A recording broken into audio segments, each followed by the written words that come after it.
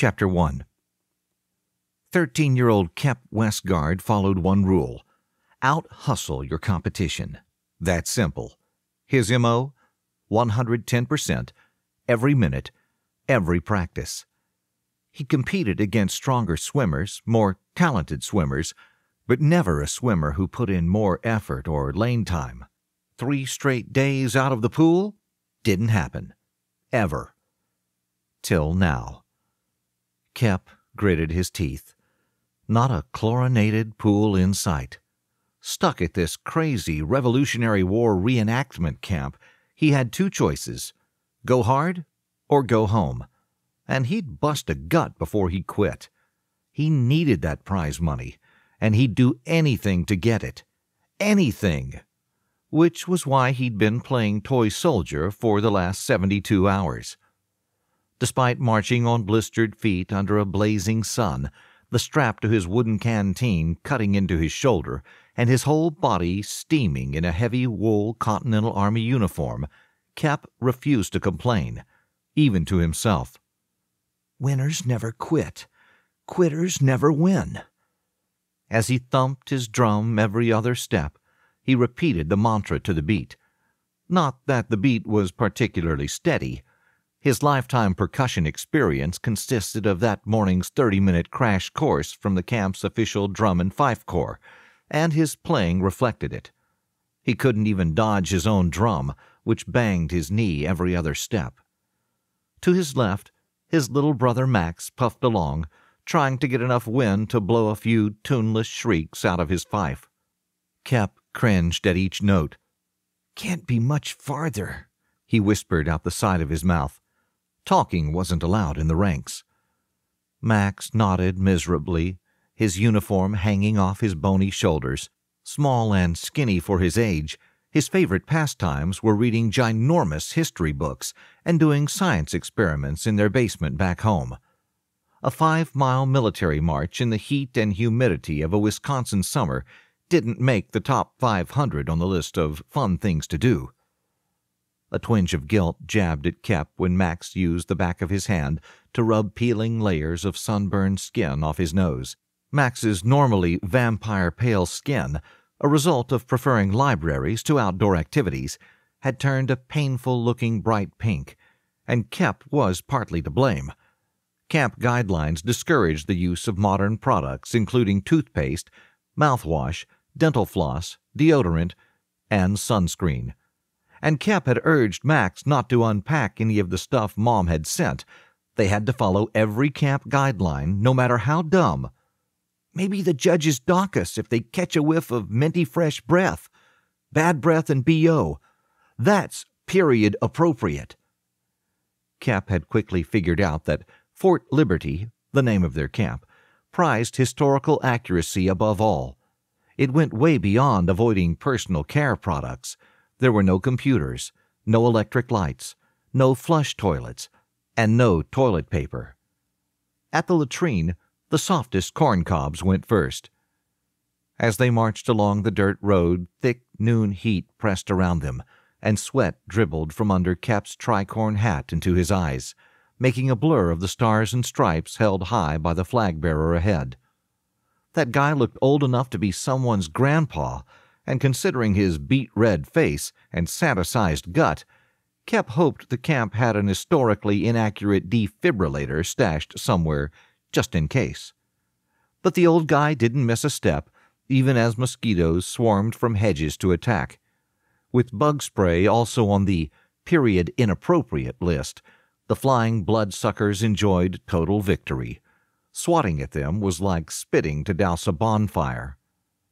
Like the flag bearer, the other forty or so adult reenactors advanced grim faced, rifles at their shoulders, taking this fake battle march scary seriously. Kep thought they were kinda old for war games, but no judgment. For all he knew, the final competition would involve a march, and if so, he needed all the practice he could get. With the contest just over a week away, it frustrated him that he couldn't get a straight answer on what to expect. He'd been told to prepare for any scenario that might face a soldier in Washington's Continental Army, but that covered a lot of ground. He, Max, and the other two kids on their team were being taught to read military maps, break spy codes, and identify battle strategies. Today would be Kep and Max's first mock battle, whatever that meant. Their two teammates, Tella and TJ, had a different assignment cavalry riding techniques. That sounded fun to Kep, but Max was terrified of horses. At least on their current assignment, Max, who also didn't swim or bike, could keep his feet on land where he preferred them. And he appeared to be managing his fife job, producing high pitched squeals every few steps, just so the ringing in Kep's ears wasn't permanent. Their little army continued down the road toward a hill of scrappy pines with a ten foot stockade fort at the top. A Union Jack hung limp on a flagpole inside the fort. Presumably, that's where the enemy hung out. Company, halt! The call came from behind. Hoofbeats thudded and metal clanked as the camp's leader, Commander Bombast, rode along the column on his white horse, the sun glinting off his gold epaulets.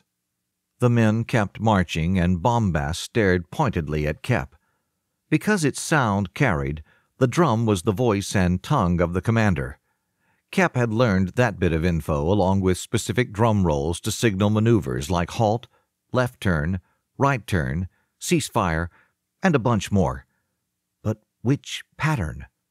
Rat a tat tat? Tat tat tat rat? Parum pum pum? Bombast scowled from atop his horse, and Kep's stomach tightened. His speechless drum wasn't going to fly. These guys didn't play around with their war games. Hopefully, loud would cover inaccurate. He tried a rock star drum roll, but his drumsticks collided, throwing the whole thing off. Bombast looked ready to order up a firing squad, but when the soldiers came to a stop, Kep figured it wasn't a total wash. He swatted his hand through a cloud of mosquitoes and guzzled lukewarm water from his wooden canteen. Attach bayonets! shouted Bombast. Kep looked around in surprise as men locked two foot bayonets onto their musket barrels.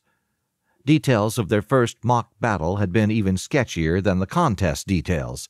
Basically, Kep and Max got a two minute briefing by some private who said it was sort of like capture the flag a game Kep had played dozens of times, but back home, a two handed tag froze the opponent.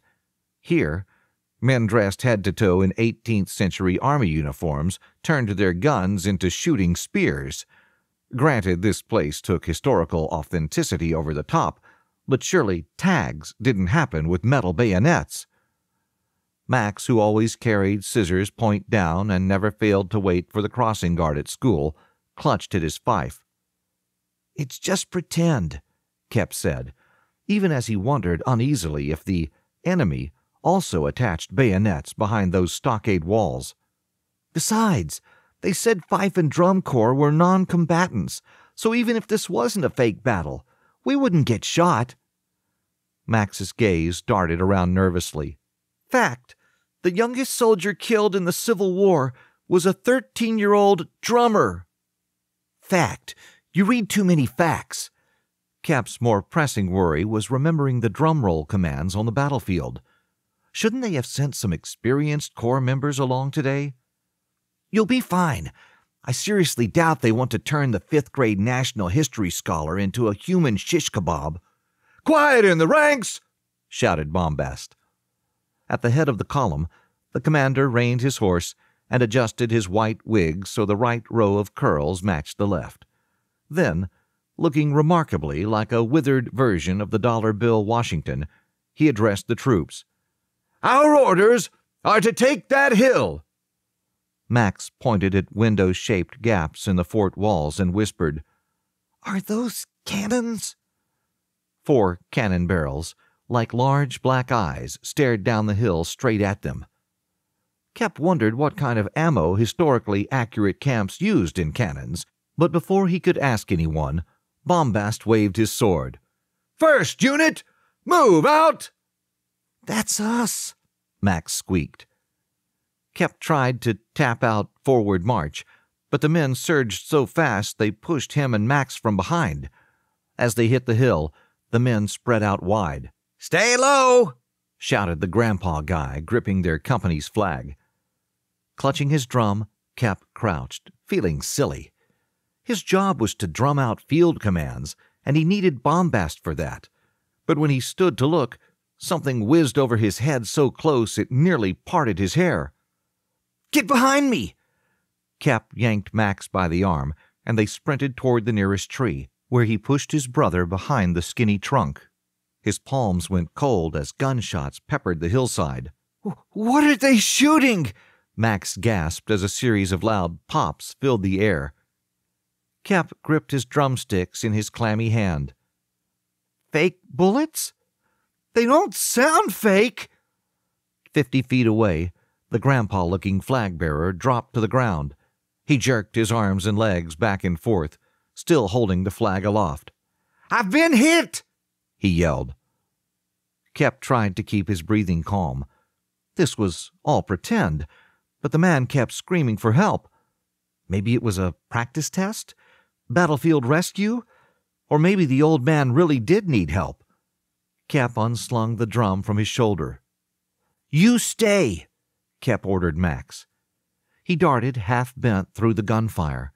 Dodge and go, dodge and go from one tree to another. He'd seen that technique in video war games. The ones Mom called a worthless waste of his time. Ha! Kep nearly made it to the injured man when two stretcher bearers appeared and loaded the moaning man onto it. At least Kep didn't spot any blood. One of the stretcher bearers snatched a flag and shoved it at Kep. Get it up the hill! Kep grabbed at it as a deafening boom shook the air. Something roared overhead, and men flung themselves flat as smoke twisted skyward. Kep dove to the ground and covered his head with his hands. Another boom shook the air like Fourth of July fireworks before shifting to a loud whine at the edge of the hill. The tramp of running feet surrounded him. Kep raised his head to see fellow Patriot soldiers stampeding back down the hill. The fort's enormous gate had burst open. Charge! shouted a voice from the hilltop. Redcoats with gleaming bayonets flooded out of the gates. The stretcher bearers leaped to their feet and hauled their patient away at a gallop. Kep scrambled up, too, his heart banging around like he'd set a record swimming the 50 freestyle. The forgotten flag lay in the dirt as he searched through the smoke for his brother. Men, stand fast! The thunder of horses' hooves approached, and General Bombast waved his sword over his head and shouted, Stand fast, I said! Half the fleeing men ignored him. The other half obeyed, crouching, their weapons ready to receive the enemy. To be Bombast's voice on the field, Kep needed his drum. More important, he needed to find Max. Even with the smoke, noise, and confusion, it was clear the British had the advantage. They'd stopped their mad dash, but continued their advance and the two sides would be within hand to hand combat distance in minutes. What happened then? Kep worked his way through the American line, dodging and darting toward the tree where he'd left Max. He spotted his brother still huddled behind it, with the drum by his feet.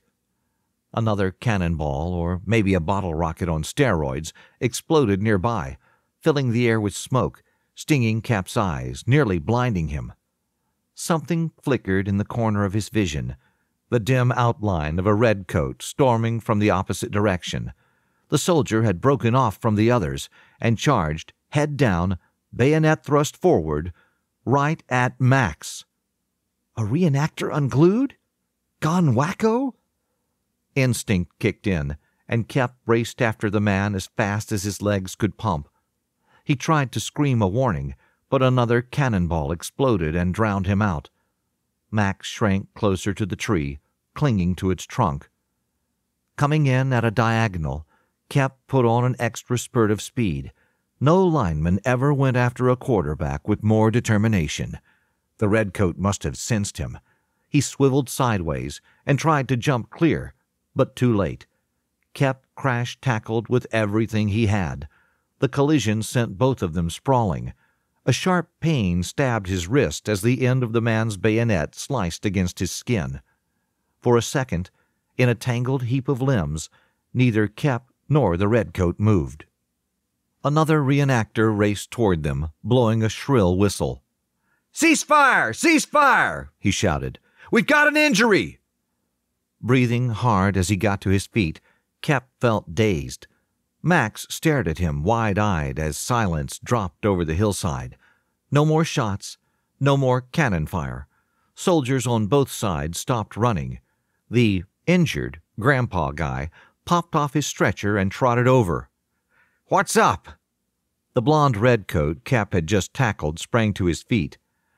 You could have given me a concussion. What were you thinking? Explaining to the curious gathering crowd that he'd been thinking the tall, blond redcoat was going to gut Max like a fish sounded melodramatic, if not paranoid, so Kep mumbled. No one told us what to do in battle. The bullets and stuff seemed real. Several soldiers laughed. Don't give bombast ideas. The blond redcoat shook his head. Soldiers follow orders, especially on a battlefield. As to the bullets, they're made of a special foam. A bruise, maybe, but no dead reenactors. He looked at Kep's wrist. You'd better get that bandaged. By gad, who stopped my battle, Sergeant Turner? Bombast had ridden over, his lips in a tight line, his right hand gripping the flag Kep had left behind. The blond redcoat, apparently Turner, responded. Our trainee got a bit gung ho. Came after me like hellfire. He'll need to see Mule at the medic tent. Bombast scowled at Kep. By Jove, Private Westguard, carrying this flag is an honor. Drop it in the dirt again, and you're out of my fort. Permanently. Understand? First mock battle. Epic fail. Kep didn't care that Bombast was in full rant mode about a piece of cloth getting dirty, even one with 13 stars. What he did care about were his goals, and if he got kicked out of camp before the competition, or more specifically, before he won the cash prize, it would be the end of his swimming future, the end of his dreams. So, ignoring his bleeding hand, itchy mosquito bites, and fast growing loathing of American history, he visualized the $2,000 cash prize and nodded. Yes. Yes, what? Yes, sir. Twenty minutes later, after telling Max they'd meet back at their barracks, Kep sat on a cot in a sweltering hospital tent. He had to be the laughing stock of the camp. But what did they expect? They throw him and Max into a battle with zero preparation, shooting bullets and blasting cannons. Okay, so the bullets were foam. Maybe someone could have said something before? Eleven more days. He only needed to survive this lunatic camp eleven more days. Ain't seen many wounds with real blood. Mule, who introduced himself as the camp medic, despite looking too young to have a medical degree, lifted his hat shoved back a handful of curly brown hair, and spit a stream of tobacco sludge into a spittoon. We'll try three for starters. He reached for a metal bait bucket sitting on the dirt floor. Three what? Kep scooted back, wondering what kind of medical treatment needed air holes. Say morning to your phlebotomist. Mule dangled an inch long squirming blob in front of Kep's face. A leech? Are you freaking kidding? Kep scooched farther back. Just use disinfectant. Mule shook his head. Ain't authentic. These little fellows will clean up that wound just fine. Kep already had a sour taste in his mouth from the battle, and now he had to fight for first aid? I just got carved by a bayonet. I want 21st century medical treatment. That bitty scratch? When we get to bone saws and amputations, we can talk. Mule grabbed Kep's forearm before he could react and dropped the leech on top of his wound. The creature latched on its two suckers. It felt like a mosquito bite, and Kep watched, horrified, as the brown body squirmed and swelled. Mule held Kep's arms in a vice grip and dropped on another leech. Soon, Three hungry creatures sipped away at his wound like buddies sharing a root beer float. Kep gagged, and his soggy oatmeal breakfast rose in his throat. I'm gonna barf. You're one of Washington's soldiers now. Toughen up. Kep took a deep breath and decided to try another tactic. I should call home and tell my parents about this. You know the rules. Mule prodded the leeches with a dirty fingernail. Nothing that ain't authentic in a Revolutionary War fort, unless it's an emergency, which this clearly ain't. No phones, emails, texts, or them tweeting doohickeys. Which leaves what? Smoke signals? Electronics bans were the norm at most summer camps. Getting around them, another norm. One kid from school bragged he'd turned over a dead phone to his counselor as a decoy, keeping his working phone stashed in a sleeping bag. But here in the boondocks, without cell coverage, even a contraband phone would be useless. A landline. That's what he needed. Washington soldiers weren't glued to screens with earbuds stuck in their heads. Mule spat again, this time barely making the spittoon. Quit complaining. Weren't no gun to your head to come here. Kep didn't respond. When the invitation had arrived months ago for the Westguard brothers to relive the American Revolution as Washington soldiers, an action packed two weeks of military drills and battle reenactments, Kep had given his no way response before Dad had finished reading. Dad and Mom pushed for him to go. The camp was free, a full scholarship. Something about Max having won the National History Award. For some reason, the scholarship included Kep, who had barely managed a C in history. Kep figured the camp wanted him to come as a glorified babysitter, since Max was only nine. Even Grandpa Westguard, a Navy veteran who raised his American flag each morning and had bumper stickers like Freedom doesn't come free and If you love your freedom, thank a vet plastered on his car, called to urge his grandsons to go. And while Max had been eager to go live history, Kep stuck with his not a chance answer until they'd been robbed, and this crazy camp's $2,000 prize, awarded to each member on the winning team, became his last hope. Mule used his fingernail to flick the fattest leech from Kep's wrist. What's so dang urgent you gotta call your folks? Besides bloody battle wounds? Kep could hardly tell Mule the real reason. He needed to find out if the police had tracked down his stolen money. If so, he no longer needed the cash prize and could hop on the first bus, train, or stagecoach back to the 21st century. He scratched at his bug bitten neck with his free hand. Don't suppose you've got Benadryl? Just heat up a spoon and press it where it itches. Kep forced back an eye roll and waved his arm, causing the remaining leeches to wiggle like fat hula dancers. Can you get these things off so I can go? Your dad, being a history professor, would have thought you'd be respectful of historic accuracy. Mule pulled off the remaining leeches and started wrapping a cotton bandage around Kep's wrist. My dad's a physics professor, not history. At least, he had been until he'd gotten fired. He teaches theoretical time travel. Not much help here. Time travel? Mule stopped wrapping. If that don't beat all. A week back, one of the reenactors got bedbugs in his cabin. He bunked with me. Ramsey's his name. Turns out he chatters like a magpie in his sleep, mostly about some secret time travel army. Just like your dad. Ain't that a coincidence? Dad teaches theoretical time travel. He doesn't think it's real. Mule got quiet and continued wrapping the bandage. Kep hadn't meant to come off as a smart aleck, so he added, Did, uh, Ramsey say what this secret army is for? Asked him when he woke up, and he got so Joe fired excited Do you'd think I was some nosy Parker asking his bank account numbers. Told me not to say anything, then makes tracks back down to his own bunkhouse, bedbugs and all. Mule tied off the bandage. Probably worried he'd get his pay docked. You ain't even allowed to talk about stuff that ain't authentic 18th century. Mule's gaze roved the tent like there were hidden microphones. Best keep the whole thing under your hat. Kep understood why there were only four kids at camp. To put up with this loony bin, you either had to love history like Max or be really, really desperate for that cash prize like him. He wondered why their other two teammates, TJ and Tella, who were his age, stuck it out.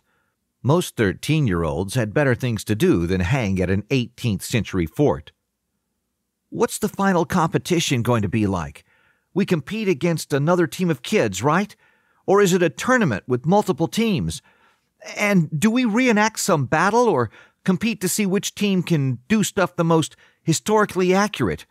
And is the other team or teams preparing at another fort?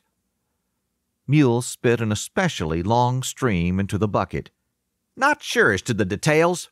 Commander Bombast, the big shot with the RWRA, Revolutionary War Reenactors of America.